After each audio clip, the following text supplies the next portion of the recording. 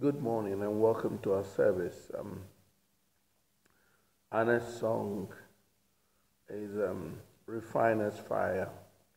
We all feel like well, we are being refined, that we're going through the um, melting pot at the moment, um, being refined and all the dross being taken out of us.